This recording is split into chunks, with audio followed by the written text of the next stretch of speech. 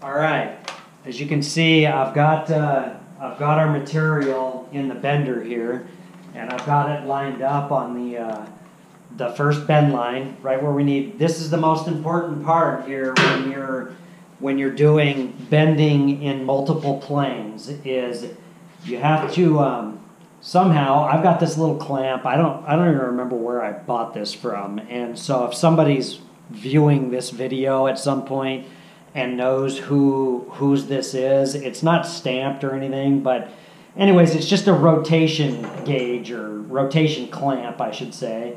And so you clamp it on the end of the tube, and then I've got a Gemred digital protractor, and so it you clamp it on here, get this clamped on, and then set it at zero. All right. There we are. So now that this is clamped on here, this digital protractor is clamped on here, we know where zero's at. Um, and so as we rotate this tube, then according to the bend recipe that Bendtech spits us out, um, we'll uh, we'll know which angle to stop at if that makes sense. So let me uh, let me. Uh, bend this real quick and then we'll rotate and we'll, we'll go over that in a second.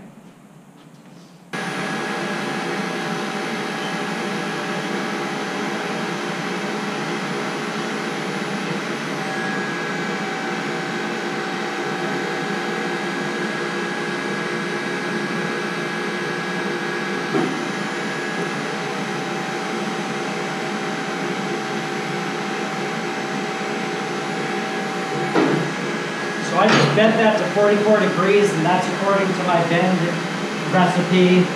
So I'm gonna mark, I'm gonna move it, and I'm gonna come to the next, uh, next bend line.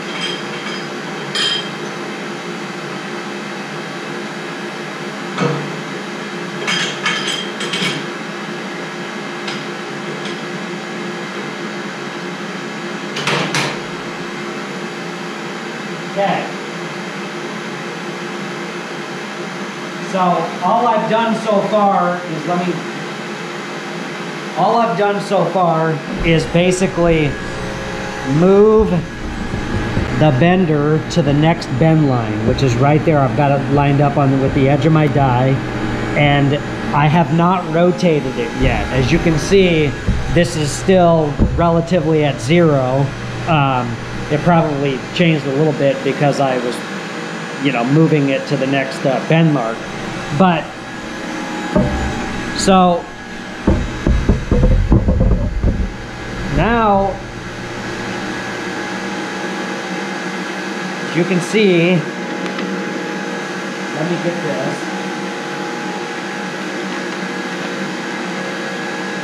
You can see here, I've done this I've I just bent it to 44 degrees. And so now I've moved it to my next bend location which is 18 and 9 16ths and I'm gonna rotate the material negative 90 degrees in the bender. Negative 90 degrees. So that is counterclockwise. And then I'm going to set my spring angle at 93 degrees and make my next bend. So let's do the rotation first. Negative 90 degrees counterclockwise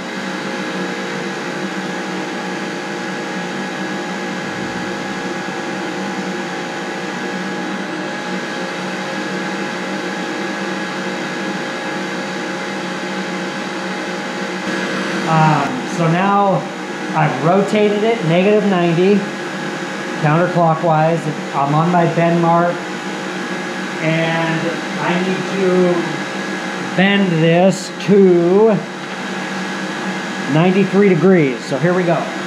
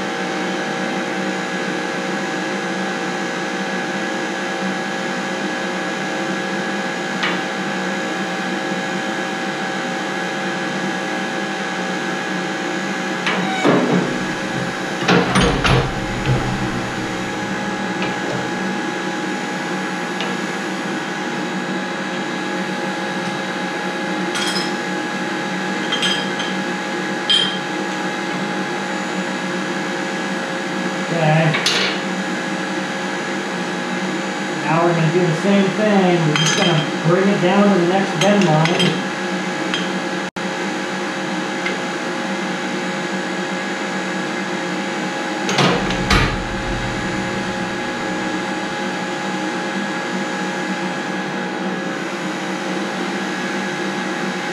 Okay, as you can see, I've just moved it to the next bend line, but I have not rotated it yet. It's basically still at negative 90 degrees. You can see our, our uh, protractor, whoops, sorry. You can see our protractor is still at 90 degrees. So,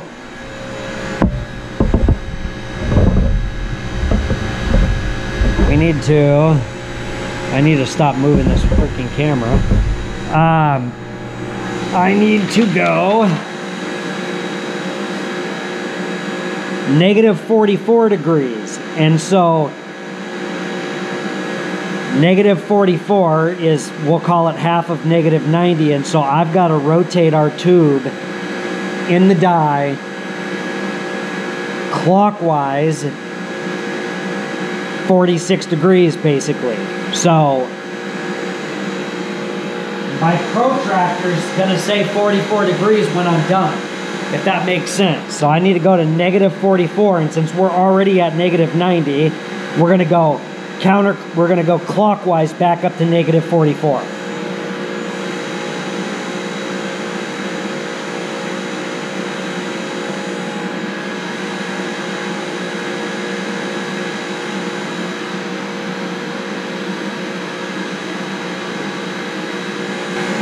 All right, we're at negative 44. Everything looks good. So now we're gonna bend it to 25 degrees.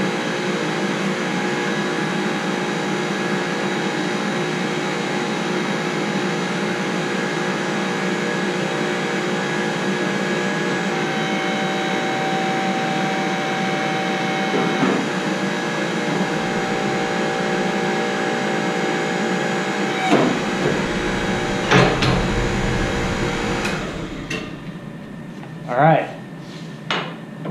There you have it. Take this off.